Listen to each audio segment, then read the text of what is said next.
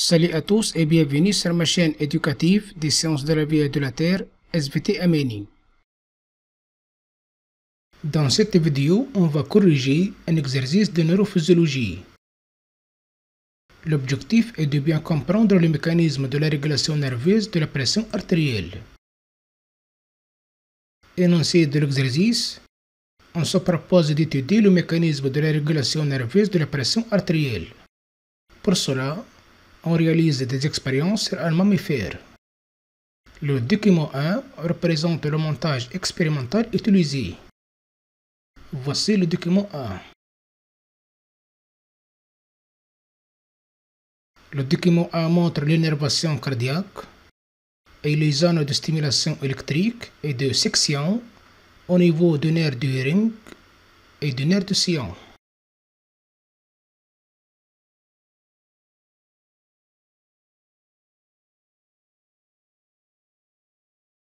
Premièrement, expérience 1, 2 et 3. On réalise des expériences de section et de stimulation de beau central et de beau périphérique des nerfs du ring et du sillon. Les expériences et les résultats correspondants sont représentés dans le document 2. Expérience 1. Section des deux nerfs du ring et du sillon.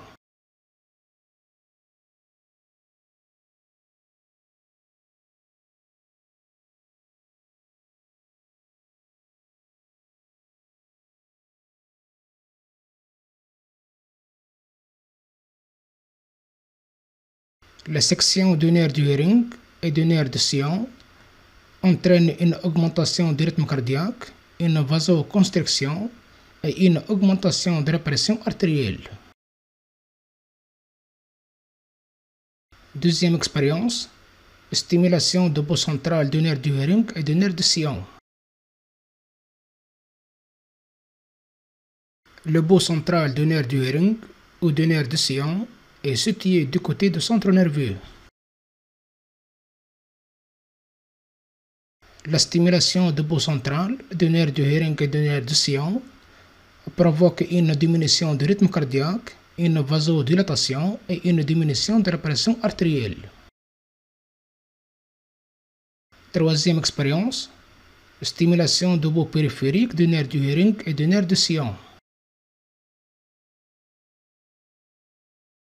Les bouts périphériques sont situés du côté de l'effecteur, le cœur. Résultat, aucun effet sur le rythme cardiaque, sur le diamètre des artérioles et sur la pression artérielle. La question est la suivante.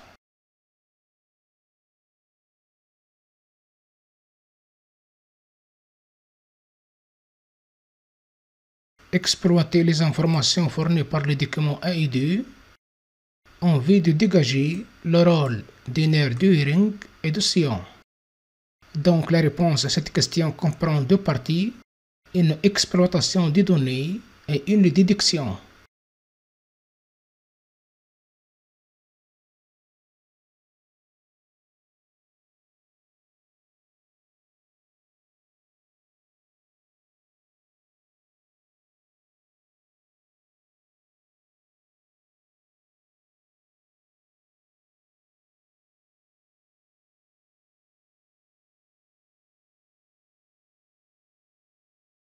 Exploitation des données fournies par les documents 1 et 2. Exemple de réponse. La section des nerfs du ring de sillon entraîne une augmentation du rythme cardiaque, une vasoconstriction des artérioles et une augmentation de la pression artérielle. La stimulation du beau central des nerfs du ring de sillon entraîne des résultats inverses.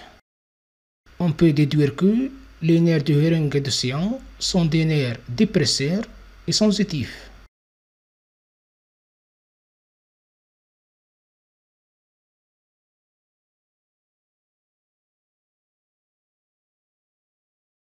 Autre exemple de réponse, les nerfs du herring et du sillon sont des nerfs hypotenseurs et afférents.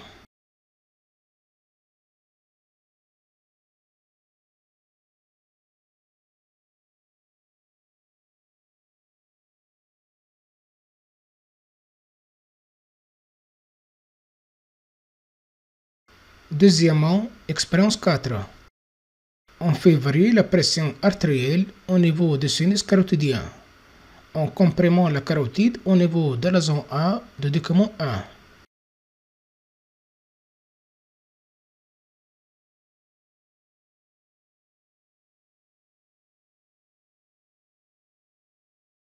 La compression est appliquée au niveau de la zone A de la carotide.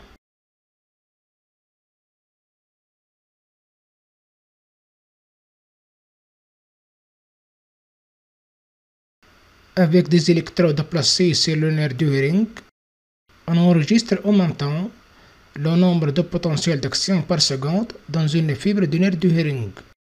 Les résultats sont représentés par le document 3. Le document 3 est un graphique.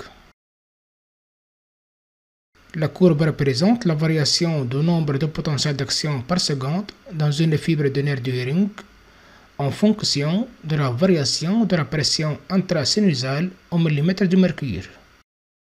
Par la méthode de projection sur l'axe des ordonnées et l'axe des abscisses, on va relever les valeurs maximales du nombre de potentiels d'action par seconde dans une fibre de nerf du ring et la pression intrasinusale au millimètre de mercure.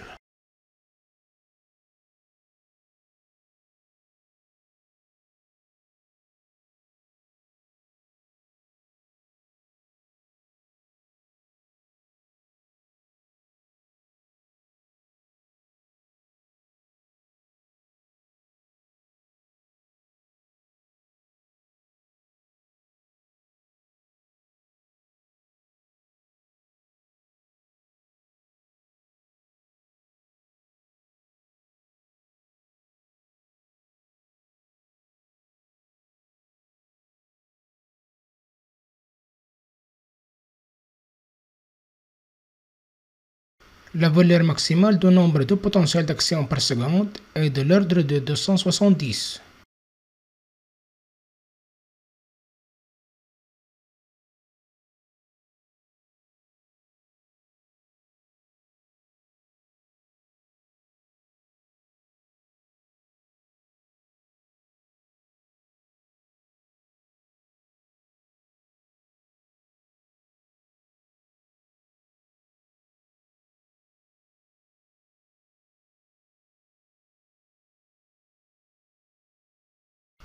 La valeur maximale de la pression intrasinusale est de l'ordre de 250 mm de mercure.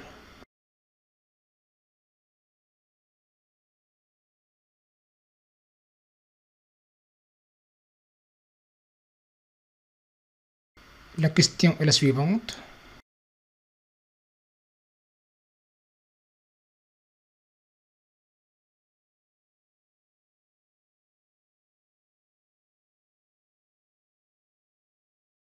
En vous basant sur l'analyse de la courbe de document 3, petit a, préciser le phénomène qui se déroule au niveau du sinus carotidien à la suite de la compression appliquée au niveau de la zone A de la carotide. Petit b, dégager deux propriétés du message nerveux parcourant le nerf du ring. On commence d'abord par l'analyse de la courbe de document 3.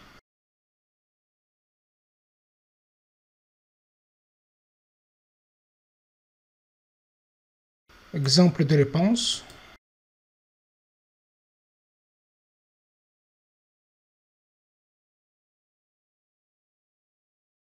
Plus la pression intrasinusale augmente par compression de la carotide au niveau de la zone A, plus le nombre de potentiels d'action par seconde parcourant la fibre du nerf du ring augmente pour atteindre 270 PA par seconde pour une pression intrasinusale de l'ordre de 250 mm de mercure.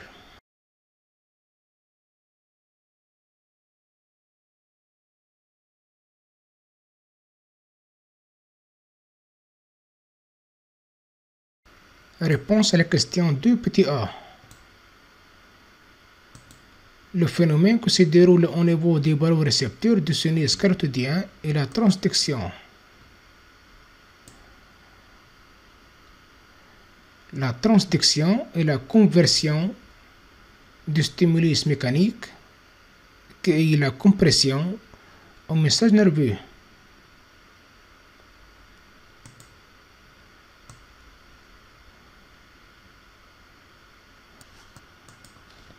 Réponse à la question 2 petit b.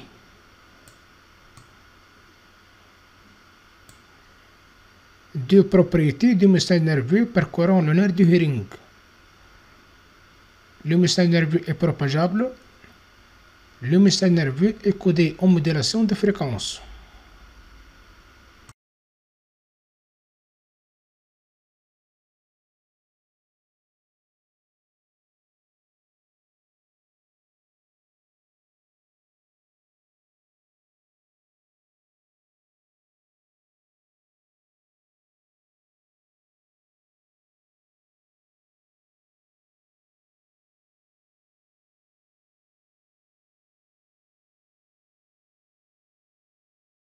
Troisièmement, expérience 5.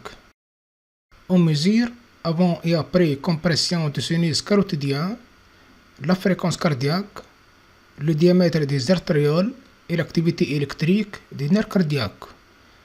Le document 4 résume les résultats obtenus. On a ici avant la compression et après la compression. Vous remarquez que la compression du sinus carotidien entraîne une diminution de la fréquence cardiaque. La compression du sinus carotidien entraîne une augmentation du diamètre d'une artériole en micromètre.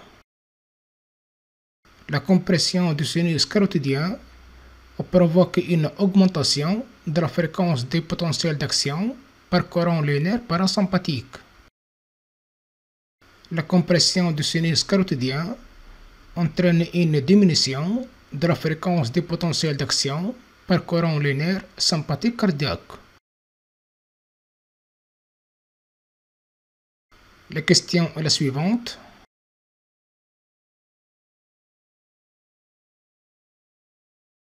Comparer les résultats du document 4 en vue de déduire la conséquence de la variation des paramètres mesurés sur la pression artérielle. On commence par une analyse comparée des résultats du document 4.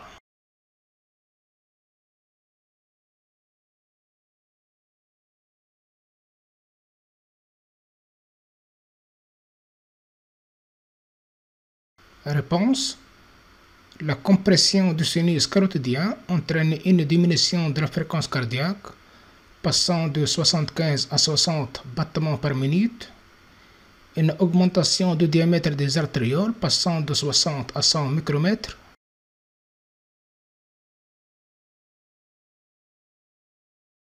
une augmentation de la fréquence des potentiels d'action parcourant les nerfs pneumogastriques passant de 70 à 100 potentiels d'action par seconde. Une diminution de la fréquence des potentiels d'action parcourant les nerfs sympathiques cardiaques passant de 80 à 30 potentiels d'action par seconde.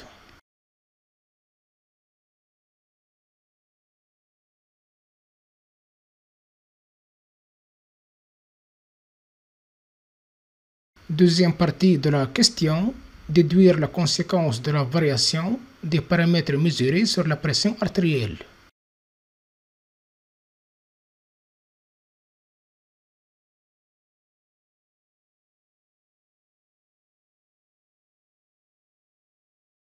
Réponse. L'augmentation de la pression artérielle détectée au niveau du sinus carotidien suite à la compression de la carotide au niveau de la zone A entraîne une augmentation de la stimulation des barorécepteurs, de l'augmentation de l'activité électrique, des nerfs afférents, nerfs du et nerfs du sillon, ce qui provoque une inhibition du centre vasomoteur et une stimulation du noyau moteur du nerf 10. Activation du système sympathique cardiomodérateur. Il en résulte un ralentissement du rythme cardiaque et une vasodilatation qui corrige l'hypertension et par conséquent la diminution de la pression artérielle.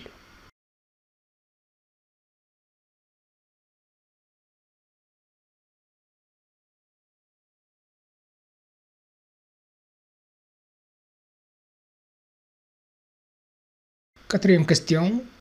En vous basant sur les informations précédentes et en faisant appel à vos connaissances, expliquez à l'aide d'un schéma fonctionnel le mécanisme de la régulation nerveuse de la pression artérielle suite à la compression appliquée au niveau de la zone A du sinus carotidien. La réponse à cette question est une explication du mécanisme de la régulation nerveuse de l'hypertension à l'aide d'un schéma fonctionnel.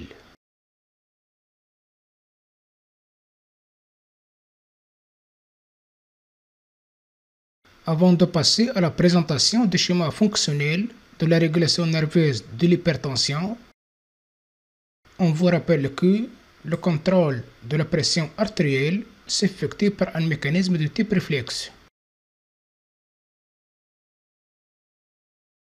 Un arc réflexe est constitué de structures qui permettent à partir d'un stimulus d'avoir une réaction automatique et toujours la même.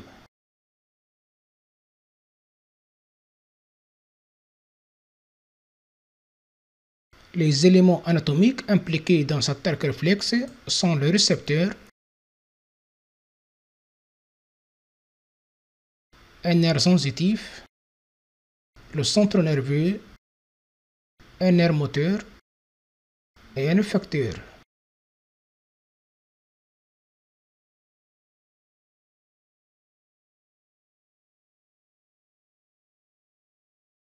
Le stimulus est perçu par un récepteur qui génère un message nerveux.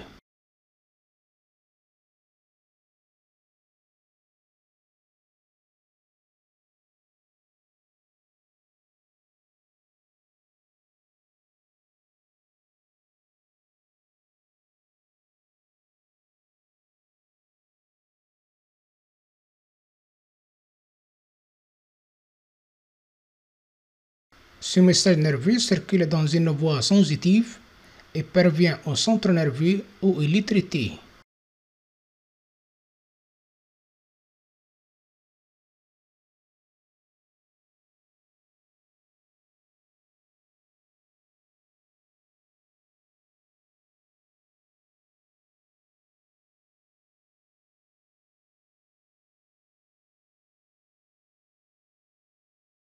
Le message nerveux repart alors par une voie motrice pour stimuler le fonctionnement d'un organe effecteur.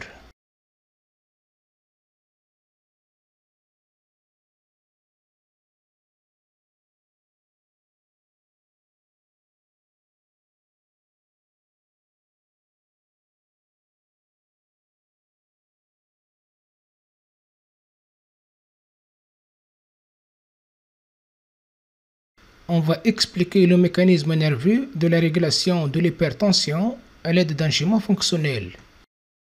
En d'autres termes, on va représenter l'arc réflexe correcteur de l'hypertension. Le stimulus est la compression appliquée au niveau de la zone A du sinus carotidien. La compression provoque une augmentation de la pression artérielle.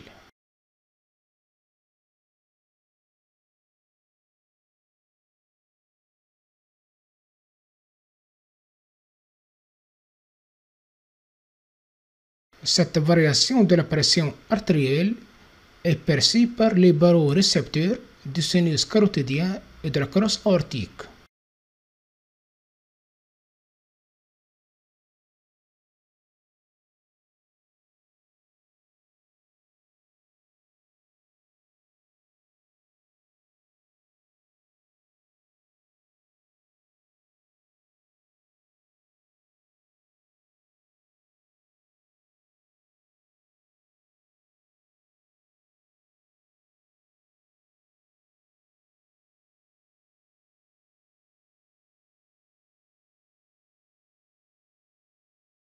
Les barorécepteurs génèrent un message nerveux sensitif qui circule dans les nerfs du ring de Sion et parvient au centre nerveux bulbaire où il est traité.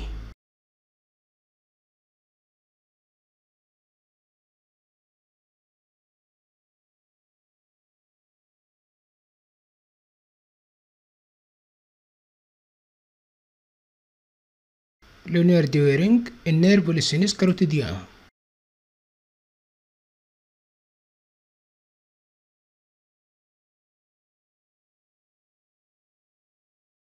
Le nerf du sillon innerve la crosse aortique. Un signe plus indique une stimulation, c'est-à-dire une augmentation de l'activité électrique le long des fibres du ring et du sillon. Autrement dit, plus de potentiel d'action. Le centre nerveux bulbaire stimule le noyau moteur du nerf 10.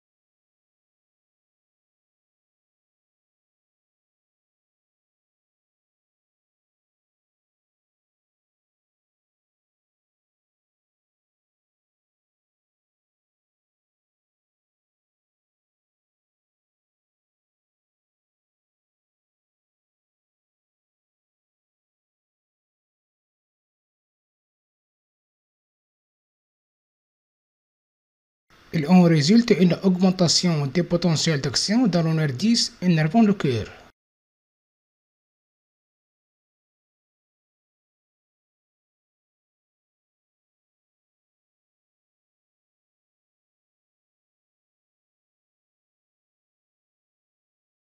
Ce qui entraîne une diminution du rythme cardiaque.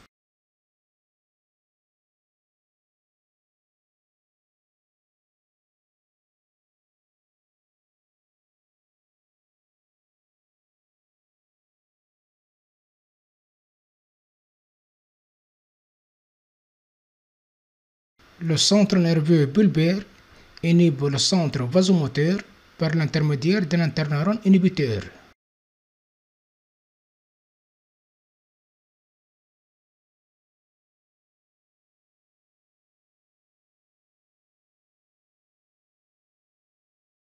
Un signe moins signifie une inhibition, c'est-à-dire une diminution de l'activité électrique, donc moins de potentiel d'action.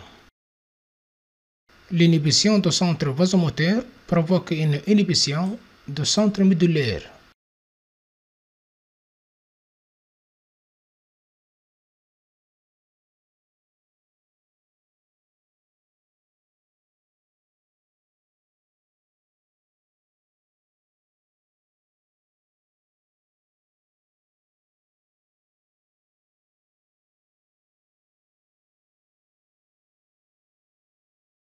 Conséquence, l'activité électrique le long des fibres orthosympathiques diminue.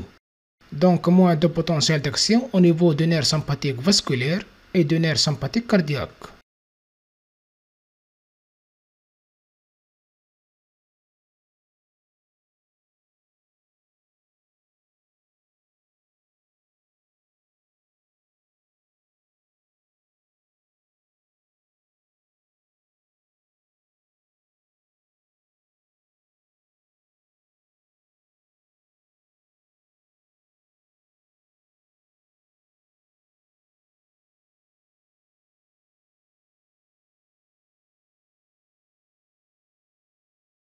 L'inhibition du nerf sympathique vasculaire entraîne une vasodilatation, c'est-à-dire une augmentation du diamètre des artérioles.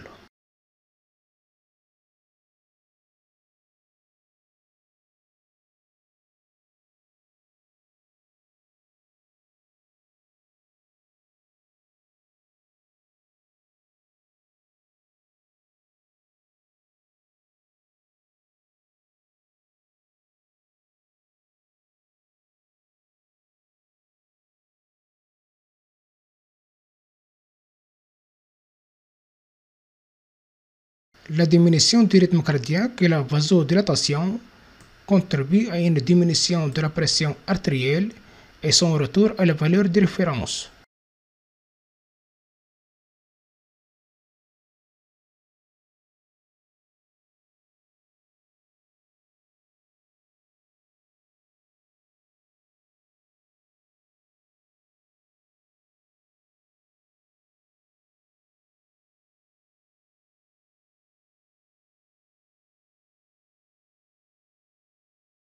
Voici le schéma fonctionnel du mécanisme de la régulation nerveuse de l'hypertension. Le résumé est indiqué en bas de la vidéo dans la description et je vous propose de poster vos questions dans les commentaires. En plus, je vous invite à aimer cette vidéo et à nous rejoindre si ce n'est pas déjà fait en cliquant sur s'abonner. Et n'oubliez pas d'activer la cloche de notification, c'est très important pour faire grandir la chaîne tous ensemble. Merci d'avoir regardé et à la prochaine.